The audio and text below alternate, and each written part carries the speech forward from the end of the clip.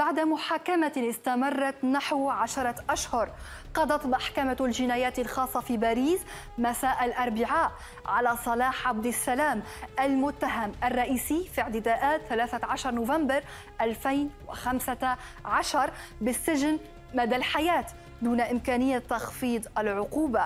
وتراوحت الأحكام الصادرة على المتهمين العشرين بعقوبات بالسجن من سنتين إلى مدى الحياة في الهجمات الدامية التي طالت العاصمة الفرنسية وضاحيتها ساندوني.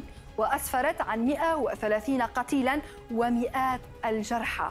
ويعتبر صلاح عبد السلام الوحيد الباقي على قيد الحياة من بين أفراد المجموعة التي نفذت اعتداءات نوفمبر 2015 في باريس. وأظهرت القرائن مشاركته في الإعداد للهجمات وتنفيذها. وولد صلاح عبد السلام في الخامس عشر من سبتمبر 1989 في العاصمة البلجيكية بروكسل وهو فرنسي من أصل مغربي مقيم في بلجيكا. وله صلة بتنظيم داعش الإرهابي وعمل صلاح في شركة بروكسل للنقل العام كميكانيكي في حين تشير التقارير إلى أنه أقيل من عمله بسبب غيابه المتكرر. بينما أكدت مصادر أخرى أنه أقيل بسبب بعض ممارسات العنف والجريمة.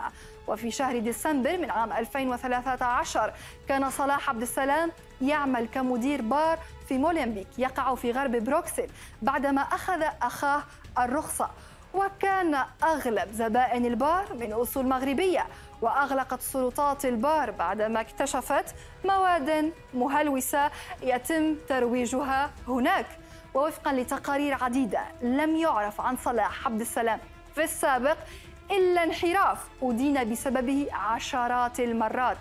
ثم أصبح متطرفا وذلك تحت تأثير صديق طفولته عبد الحميد أبعود المنسق المستقبلي لهجمات باريس والذي قضى فترة من حياته في سوريا وانخرط في أعمال مسلحة هناك مع تنظيم داعش الإرهابي. وأظهرت القرائن مشاركة صلاح عبد السلام في الإعداد لهجمات باريس في كافة مراحلها وصولا إلى تنفيذها. لكنه تمكن من العودة إلى بلجيكا قبل أن يتم اعتقاله بعد أربعة أشهر في حي مولمبيك ببروكسل.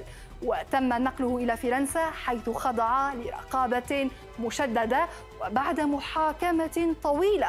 قضت المحكمة على صلاح عبد السلام بالسجن مدى الحياة دون إمكانية تخفيض العقوبة.